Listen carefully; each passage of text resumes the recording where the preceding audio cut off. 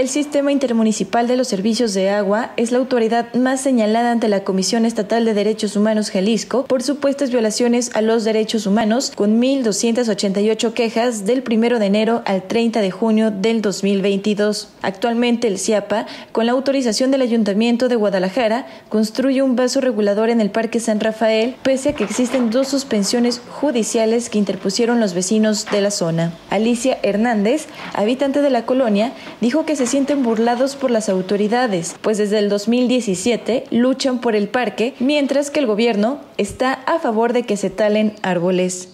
Pues nos sentimos inconformes porque pues uno siente que lo están engañando, ¿verdad? Y que no es para beneficio de la colonia y no nada más va a perjudicar aquí, va a perjudicar a, a colonias pues de aquí cercanas.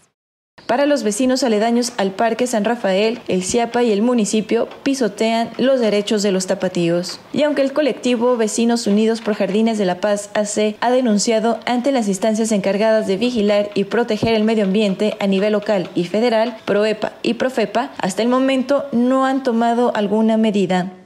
Mal, porque uno ve que sí, que cuáles derechos, no tienes derecho de nada y no hacen caso de de nada de lo que, de la opinión de uno, no tienes este, sí, que libertad, como dicen, hay libertad de, expresión, pues sí la hay, pero pues nada más se, se uno.